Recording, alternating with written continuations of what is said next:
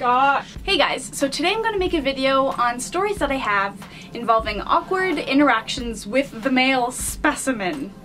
See, this is already starting off very awkward. So yeah, I'm just gonna be telling awkward stories with boys. I don't know what made me decide to make this. Maybe I just wanted to degrade myself, you know, bring myself down a few steps on the social status. Um, but yeah, I'm just gonna be telling weird stories that involve men.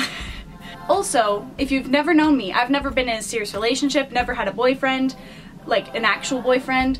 Um, so yeah, and up until college, I didn't really have any guy friends, cause once I got in college, I was like, wait, you can be friends with guys? So before I had this epitome in college, like, hey yo, you can be friends with guys, and I did have guy friends in high school, just not as many, I mean I don't have a ton of guy friends now, but you know what I mean, like I just saw it differently back then, now I'm like whatever whoever you are, I'll be friends with you. Before I was like, oh, I don't know. I don't want to be friends with a boy. So I thought I'd start off with the first awkward interaction with a guy I can remember. Actually, there's two guys that I can remember in my lifetime. This is just a quick story, but I was in either kindergarten or preschool. One of those is before elementary school and there was these two guys that I was friends with and they're like Ericka come under this table and I was like why they were under the table they're like come here come here and they pulled down their pants and underwear so I could see their little prepubescent genitalia. Once they're just fully exposed, they're like, do it, Ericka, do it. They wanted me to also pull down my pants. And I was like, um, no thank you. And I ran out and I told the teacher and I didn't talk to them again. So that's just like a baseline of my life. So this is now where I'm at. That's my first interaction with my guy friends. You know, come to acceptance that not every guy is gonna just flash you under a table. So there's not a lot to tell about this guy that I dated in middle school. Um, we'll call him Tony. So Tony liked me and I liked Tony and we were in math together and we like flirted and all this stuff and so one day um, he didn't ask me out. Our mutual friend asked me out. She's like, oh hey, Tony wants to go out with you and I was like, okay and she ran over to Tony and said, she said yes. And then we just like looked at each other and then I had to leave I forgot what was happening, but I had to leave.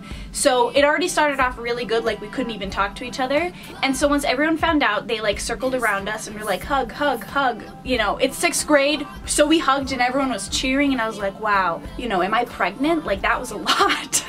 So we hugged, you know, starting off strong, and we dated for, like I said, a year, which is a long time, especially in 6th and 7th grade. But anyways, our relationship consisted of Skyping 24-7. That's all we did. Um, in 6th grade, you don't really have phones, so we Skyped all the time, and the closest thing, yeah, we hugged. We went to the community center, and one time he invited me over and wanted us to share a sleeping bag, but I didn't go because I have morals, okay? One time we were Skyping and I feel so bad for all my friends I had during this time because they'd come over and we'd hang out and I'd be like, oh my gosh, Tony wants to Skype. So I just Skyped Tony and we wouldn't even talk about anything. Um, and if you go on Tony's Facebook nowadays, all he does is share posts about Farmville. So that's just kind of the guy you know, I was going for. And yeah, one time we were Skyping and his brother pulled down his pants and I saw his butt and Tony didn't really pull up the pants right away because he like wanted me to see the butt. So again, um, we went very far. I saw his butt. Like, wow. so yeah, Tony, there wasn't much going on, um, but just to end it, so one time I was hanging out with my friend and I was explaining like, we've been dating for seven months or however long it'd been. I was like, I want to take it to the next level. I want to like kiss him. And she's like, you should. And that night, he Facebook messaged me or Skype messaged me again. We didn't really have phones. Um, and he said, hey, this girl wants to go out with me, but I don't want to break up with you, so can I date both of you? The same night that I'm like, let's take it a step further with Tony. And I was like, um, no. And he's like, okay, that's fine. Um, but she continued to like come up to him and is like, I want to date you, I'm better than Ericka, all this stuff. And it's like, excuse me, Tony is mine. We've been together for many months, okay? And our relationship wasn't solid for a year, like we just wouldn't talk. And then all of a sudden he'd Skype me again. And at one point I broke up with him because I'm a heartbreaker.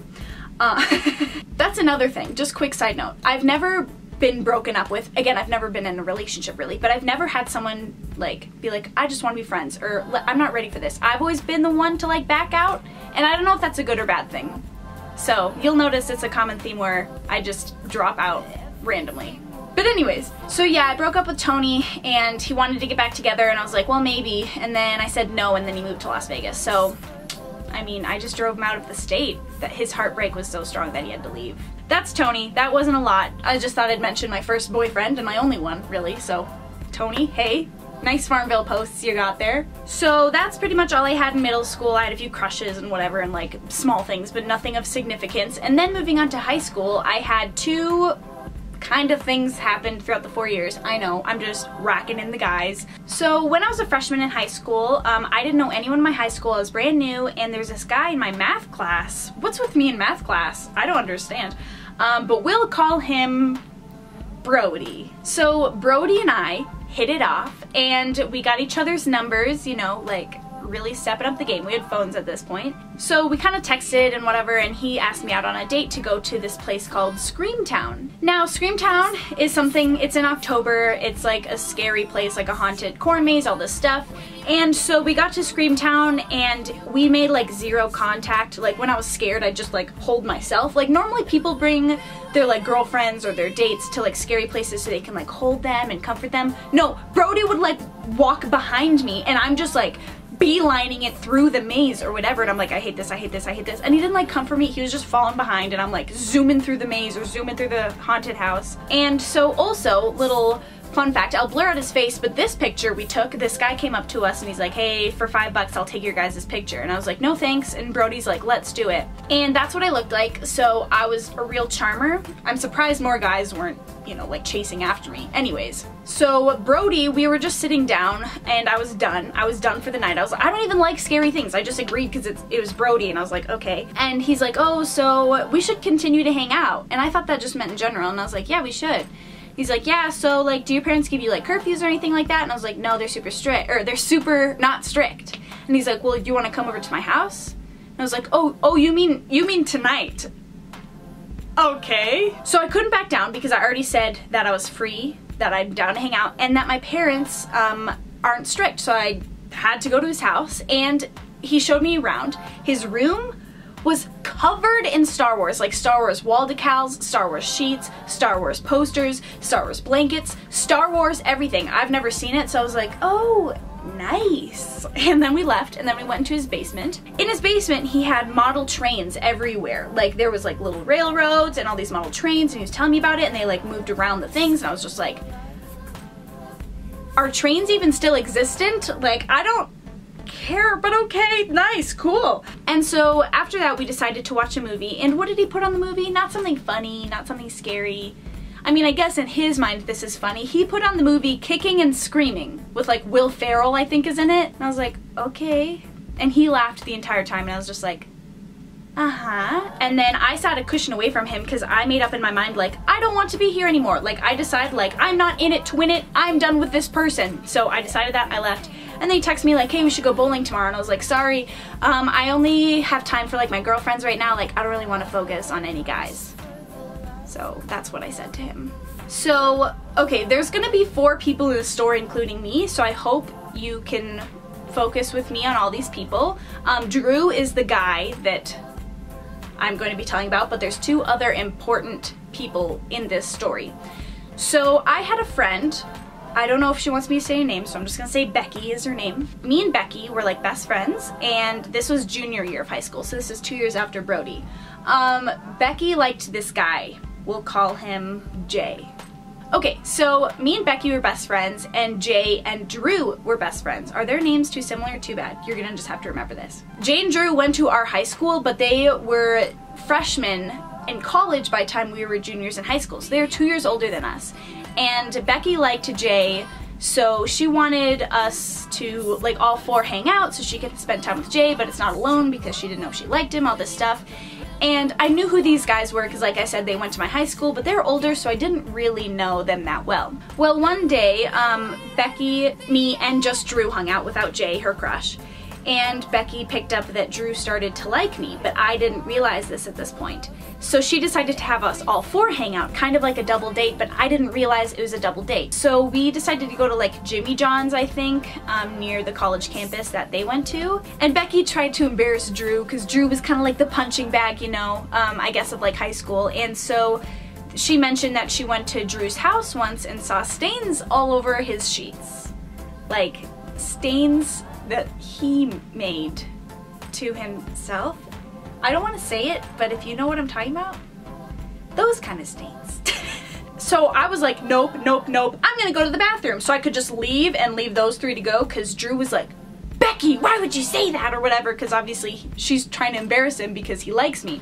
So I was like, I need to go to the bathroom just because I needed to leave them. Didn't even need to pee or do anything. I just went in there so I could like not be in the conversation about the stains. So I came back and I was like, so anyways, moving on. And then we went into Jay's dorm room because like I said, the Jimmy Johns was super close to their, their college. So we just hung out their dorm room, we were listening to music, we were just talking, um, because the guys had actually pretty good taste in music. So Becky purposely kind of tried to orientate me and Drew to sit next to each other, and at one point she's like, like, put his arm around me. And I was like not paying attention, I was on my phone, and I like kind of hear her like whispering, and I look up, and he's like, like, awkwardly going for it and I was like, um, what's happening? And she started laughing, all this stuff, and then at one point she's like, Jay, I want to show you something, and just left me and Drew in the dorm room, and I'm like, like this is so awkward. And then at one point Drew asked me and Becky like, hey, would you guys ever have a threesome? And I was like, what? Who asks that? Like, I don't think he intended it to mean like, hey, us three, because Jay's right there, and he's probably like, fish, what? Uh, so I don't know why he mentioned that, but I just thought I'd throw that in there. He just asked that randomly. It was very clear to me that Drew liked me at this point, and I realized it. I just continued to agree to hang out with all four of them because I was trying to do Becky a solid, and I didn't really know who this Drew kid was. He wasn't ugly, so I was like, I mean, I guess I'll keep hanging out with them. And they're like, they were in college, they're two years older than me, so I was like, oh my gosh, they're older guys, like this is so cool. So, eh, you know, I was a little delirious, we shall say. So then at one point we hang out again and we go to Drew's basement and we watch a movie. What movie was it? Oh, it was Good Will Hunting and that was my first time watching it and the whole time. So Becky and Jay are sitting next to each other and me and Drew are sitting next to each other. and my hands are just like by my side. My arms are by my side so my hands just stay here. I would see his hand kind of like get so close and then retract and then inch and like get ah, and it got so close but he never touched my hand. I was like so then at one point I just put my hands like this because I was like listen dude if you're not gonna hold my hand can you not make it awkward? So I just put my hands to myself. I was like this is too much so then afterwards, after the movie, um, his grandparents came down and were like, oh, hey girls, how are you? And all this stuff. And they're like, oh, so you go to this high school? And Becky's like, yeah, we're actually juniors. And she's like, oh, you guys are juniors? Like realizing like, we're actually two years younger than the guys. His grandma was like, what? And Drew was like, no, it's fine, it's fine. And then they had to go talk and I was like, Becky, don't, we're definitely mature. You say we're seniors at least. So then as we were leaving, um, Becky and Jay like hug each other and I'm out the door because I'm like, this is just not for me at the moment. Drew realizes like, oh wait, they're hugging, I wanna hug Ericka, but I'm out the door, so he's like, oh, uh, high five. So we high-fived and then we left. Our hands did touch at one point during it. high five. So as if those two times weren't enough torture, um, at one point Jay and Becky were going on a date. So I was with her, we like I did her makeup, we did all these things, and she was getting ready to go to a concert with Jay. Like I said, Jay and Drew had pretty good taste in music, so I was excited for her. I was like, oh my gosh, I'd never heard of this person. I believe it was John Mark, John Mark Nelson. So she's off with Jay, I'm driving home, I'm eating dinner with my family, and I get a text from Drew saying, hey, wanna go to a John Mark Nelson concert with me, Becky, and Jay? And I was like, uh-oh, this isn't a date. So I call Becky and I'm like, um, Drew just invited me to go. I don't think this is a date. I think this is another double date. And she was pissed at Drew. She's like, why are you coming? And then she didn't want him to come alone. So she's like, Ericka, you have to come. So I come to the um, concert and Drew pays for me, which is nice. Hold on, before we get there, somehow it worked out that I had to carpool with Drew and on the car ride there it was the most awkward car ride of my life it was barely any talking and and at one point he asked me like I was just quiet like looking out the window and he's like so what are you thinking about? I was like I don't know nothing. And then it just continued in silence.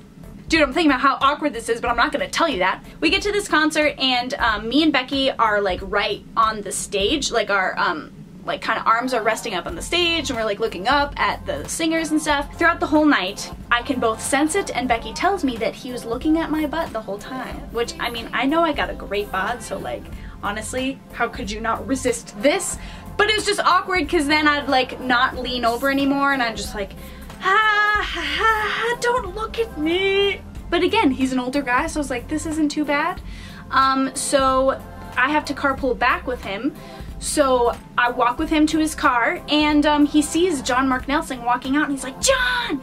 John! And John's like, no, like, don't yell my name. But it was just so awkward and I was like, please don't yell his name across the street, let's just go home. And then it was the most awkward ride home and I didn't hug him goodbye, I just like got out of the car and left. But something came over me, maybe because he was an older guy and the double dates were skewing me weird ways, but I was like, I'm gonna text him like, hey, I had a really good time. Thank you for paying my ticket. Um, you know, I really like you and, you know, I have a good night, something like that. But I said I really like you in it.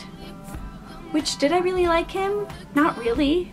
But apparently I did. So he didn't respond for two days and I was like, this is it. This is my first rejection. I've never felt this before. But yeah, he responds two days later with like a cheesy Good Will Hunting pickup line because remember we watched that movie. I don't know what took him two days to get the balls to text me back, but it took two days. So we were gonna go urban spelunking or something like that. Um, but apparently we didn't because at that point he's like, oh, should we just go to a coffee shop and talk? And I was like, that's the most awkward first date we go, we meet somewhere, and then we carpool there, and it's so awkward because I'm not great with eye contact, but he's very, like, looks into you the whole time you make eye contact, so he's looking at me the entire, like, two hours we were on this coffee date, and I made up an excuse. I was like, oh, sorry, I have dinner with my family. I did, and I got home, and I was home alone. I was just chilling. I don't remember how, but somehow our, my, our emails came into the conversation. This is how interesting the conversation is. We're talking about our email. Somehow, I don't even know, but I mentioned that my first email was I'm not gonna say it, but it had the word zebra in it. And he's like, oh, so are zebras your favorite animal? And I'm like, no. And he's like, so why'd you have zebra on your email? And I was like, I don't know. I was like 10. And he's like, oh, well, you must have put zebras. Like, kept asking me about the stupid zebra. And I was like, dude, I'm so over this. But I kept talking to him because I didn't know, like, I, I had no escape plan. He drove me there. Um, but it was soups awkward, but I think we hugged goodbye because I was trying to be nice. Um, and then I drove home and he kept texting me and I just didn't really respond. He'd ask me to hang out and be like, no, I'm busy, and I wouldn't text as much, and then it just slowly faded to nothing. But then I went to the Broods concert with Hannah, and I saw him there, because like I said, he doesn't have bad taste in music, and it was super awkward because he got super close to me and was asking me, and he's like, oh, oh, you're going into college? Um, and I was like, yeah, I am, and I'm going to Colorado and all this stuff, and I was like, goodbye, sir. So that was the last of Drew. So I don't know if this video was necessarily entertaining, I hope so. Someday I might make a video on like college stories and stuff like that, and I know a bunch of my friends, they found out that I have a, a YouTube channel, so if you're watching this, hello! Uh, but yeah, those are some of my many awkward interactions I've had with the male species. Why do I say that? With, with men, with boys, with guys. So yeah, hopefully this video is entertaining, and um, if you also have weird, awkward interactions with people that you find kind of relatively attractive, you're not alone. So yeah, those are my stories. Thanks for watching, and I'll see you next time. Bye.